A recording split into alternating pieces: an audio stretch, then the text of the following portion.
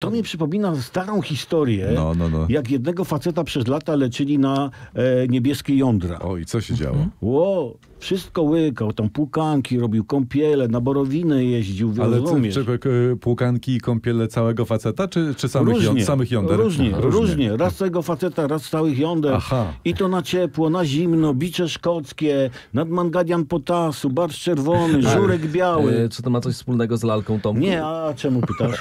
czemu pytasz? Ale nie, słuchajcie, nie, Co? bo najgorsze jest to, że nie pomogło. Aha. Nie pomogło.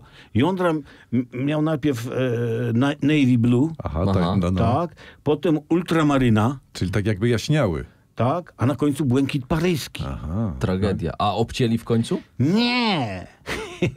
Bo widzicie, po latach się okazało, że mu dżinsy farbowały. Dlatego zalecamy pod dżinsami nosić kąpielówki. No, Tak, tak. Tak.